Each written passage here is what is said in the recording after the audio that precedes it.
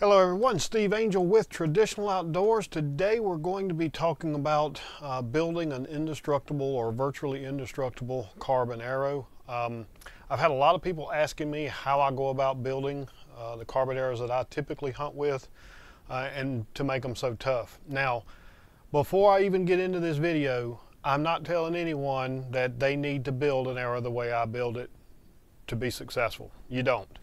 Um, but over the years, I have uh, developed arrows that I like the way they hold up, mainly on the 3D course.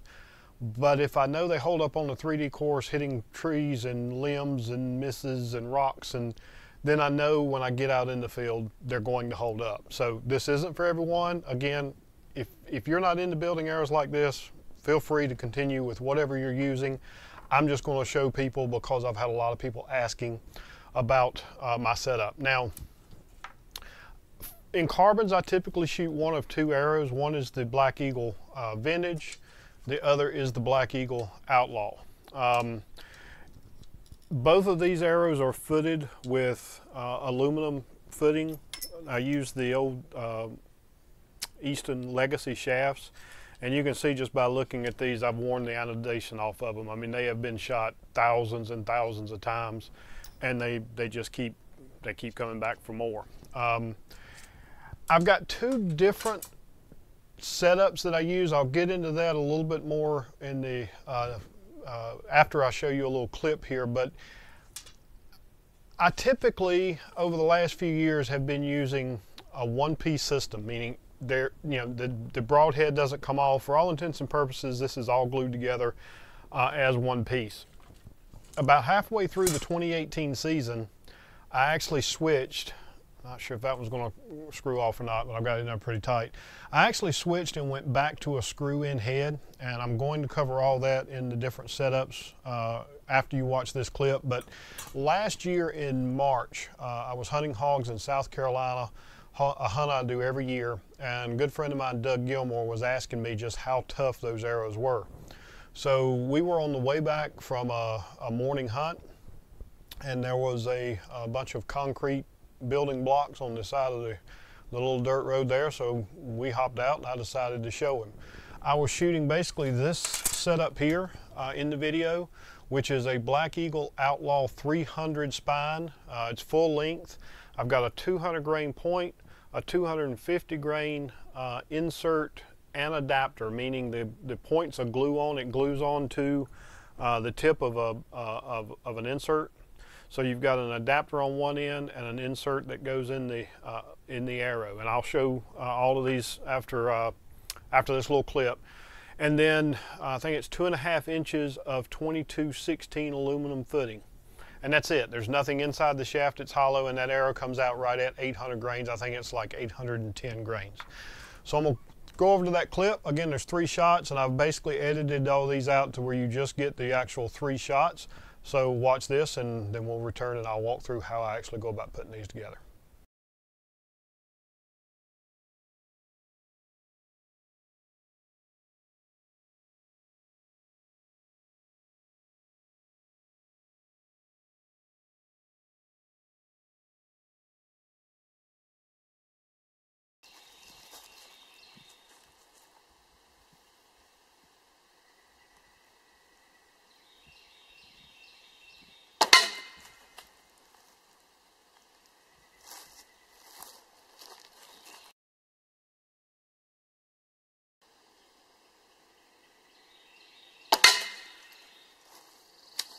I got to knock this guy.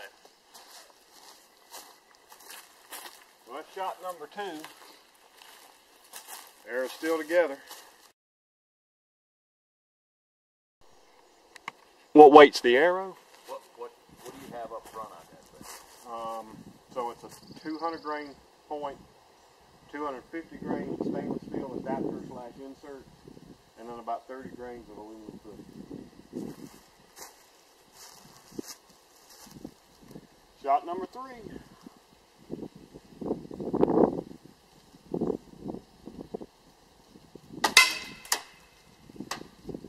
I got that one too. Well, you hit the same hole. I did hit the same hole. All right, that one broke the arrow. So third shot, 75 at 28, 800 grain arrow, and the third shot broke.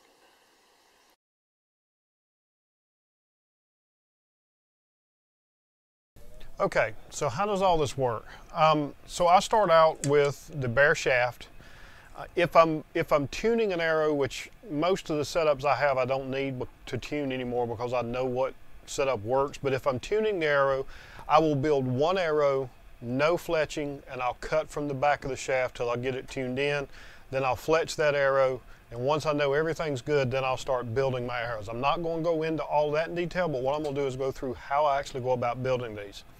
So I, I, have my shaft, which again is either the, the Black Eagle Outlaw or the Vintage. Um, I have my footings. I always cut my footings to two and a half inches. Now the reason I cut them to two and a half inches is because the inserts, regardless of whether I'm using a, a one-piece insert adapter or an insert that's designed for screw-in head, I know those are just under two and a half inches long. So I want my footing to be just a little bit longer than the insert. And what that does is it pushes the, the leverage point on this shaft back just a little bit more. Now one thing to keep in mind when you are footing, if you're footing a 30, let's say you're footing a, a, a 31 and a half inch arrow with a two and a half inch footing.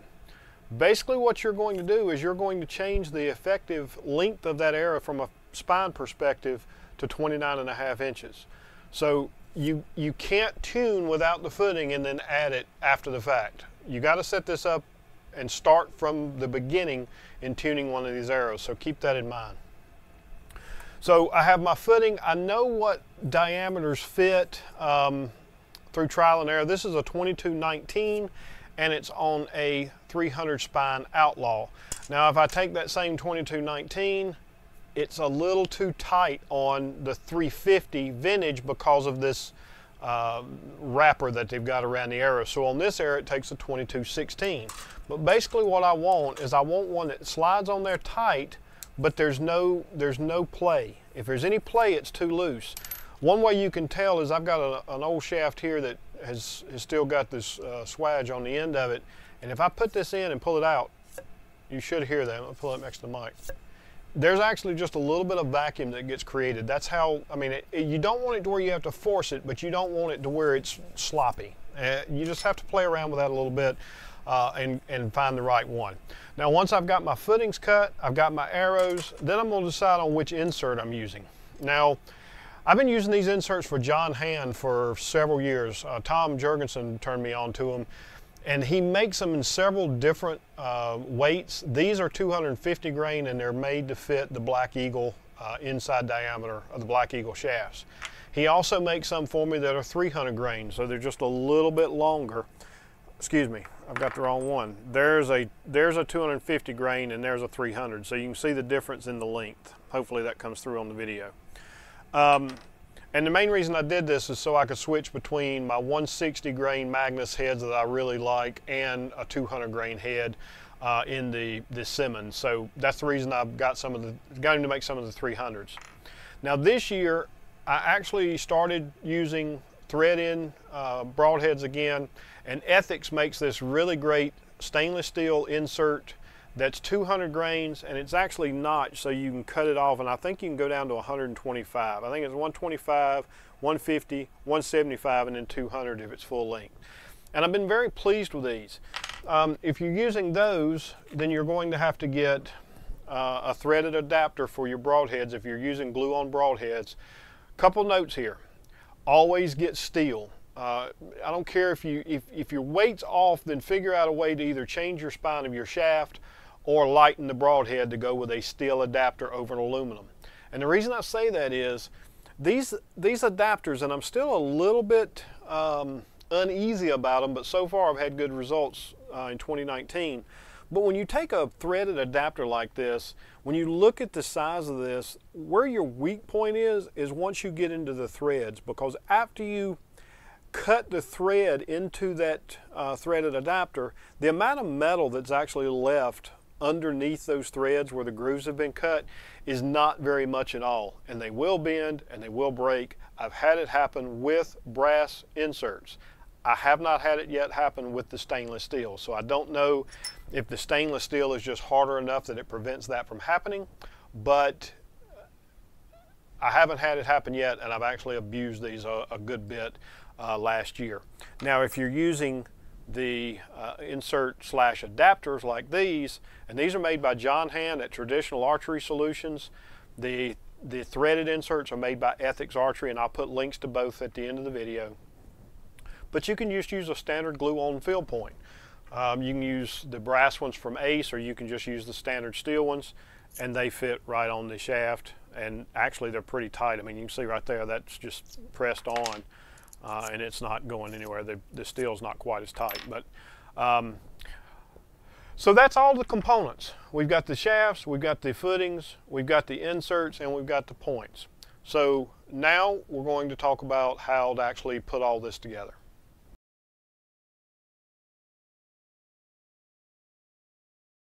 I want to emphasize that the way I'm putting this together for all intents and purposes, it's a permanent solution. Now, it's going to last forever. You're going to be able to shoot these arrows thousands of times, um, but it, it's going to be hard to disassemble these components once you're done based on the way that I'm putting them together. So just keep that in mind. Again, this isn't for everyone, but I am trying to answer as many questions as I can for those that have asked. All right, so uh, I've got my, my shaft ready to go. Um, I've got my footings cut again to fit the arrow shaft that I'm using. I've got my adapters ready and I've got my points, whatever those may be. Now the first thing I'm going to do is I'm going to take and excuse me, I'm to take my insert, I'm going to slide it onto the shaft, excuse me, my footing. I'm going to slide it onto the shaft and I'm going to take a marking and I'm just going to uh, Sharpie and I'm going to mark the back of that of that footing. Then I'm going to take some fine grain sandpaper and I'm just going to rough up that shaft a little bit back to where I marked that, that shaft. It doesn't have to be a lot. You just want to rough it up just a little bit. And then I keep a, a normally this would be a damp cloth, but I keep a cloth handy and I wipe it off. I'm not a fan of using solvents, so alcohol, acetone, those kind of things, they can be potentially be bad on the arrow shaft, uh, but they typically all will leave some form of residue. So I just use some a damp cloth and let it dry before you continue the process. Now I'm also going to take, and I usually keep a piece of sandpaper, same lightweight sandpaper, I'll roll that up as tight as I can get it, I'll slide it inside the shaft, and then I'm doing the same thing. I'm just working it up a little bit. It doesn't have to be a lot. You're just wanting to give a little bit of a scarred up surface for the, for the epoxy to adhere to, and then I would clean that out with a damp Q-tip. So now I've got the shaft ready to go. I would also then usually take my footing and I'd run a chainsaw file, a new one, one that doesn't have oil or anything like that on it. Run that up in there, brush that out real good, just score it up a little bit, and then the same thing, clean it out with a Q-tip real quick and let that dry. Now real briefly, before I go forward, if I'm using the insert adapters, this doesn't apply. However, if you're using or decide to use the Ethics Archery insert, a neat thing that I found last year, or this past year, is I can take this footing and slide it into that, excuse me, the insert, slide it into the footing, and it's a very snug fit. With just a few taps of the hammer, what I end up with is a footing that is inside, excuse me, uh, an insert that is inside my footing. And then on the back, I've got my, you can see that I've got a, a gap around that insert, between my insert and my footing, and it is a perfect snug fit to then slide all that up together. And now you talk about something that's hard to, to tear up and come apart, you've got it. Now, if I'm using just the footing, I would slide the footing on and then I'd put the insert in. So that's what it would look like. Now, I've got everything sanded up. I'm ready to go. I'm gonna mix up my 24 hour epoxy. Again, I'll leave a link to this. I'm gonna, I'm gonna make a, a spot about the size of a nickel, maybe a quarter. You don't need a lot for one arrow. Now, if I was doing a dozen or a half dozen, I'd make up a little bit more. But if I'm just doing one arrow, you don't need a lot. I'm gonna coat the outside of the shaft with the epoxy. And then I'm gonna take my, if I'm using a, a, pre, a, a one piece insert adapter, then I would take this and I would just work the shaft. As I, as I get it on here, the epoxy will pile up in the back and then I can wipe off the excess. Then I'm gonna put epoxy on my insert component of my adapter, making sure I fill these grooves up. And then I'm gonna do the same thing. I'm just gonna work that shaft on and get everything lined up. If I'm doing a field point, I may go ahead and glue the field point on. If I'm doing a broadhead, I'll probably wait and do that later. And then I'll stand this up, put a little weight hanging off the nock, find a place where I can lean it up. And then I'll just come back every, I don't know, half hour to an hour and make sure that everything's still seated the way it's supposed to be. And after a couple of hours, it's not going to move, but you've got to give it a full 24 hours to fully set. Now, if I'm doing the threaded adapter and I've already got it seated in my aluminum, I'm just going to basically work some epoxy down in this, uh, in, the, in between the, the adapter that's inside and the footing. I'm gonna put a little bit inside the shaft here to get started, and I'm gonna put some on the outside of the shaft, and then I'm just gonna get this started on, and I'm gonna work it back and forth as I slide that down on the shaft. Once it's seated, I'm done, put a little weight on it, and you're ready to go. Um, again, wait the full 24 hours, and once that has set, again, they're, they're indestructible. Typically what will happen is if you're hitting a glancing blow or if you just repeatedly hit something very hard, it might break. It'll break behind this footing. But you've got a lot more uh, leverage than you would if you didn't have anything but the point up here. It can't mushroom.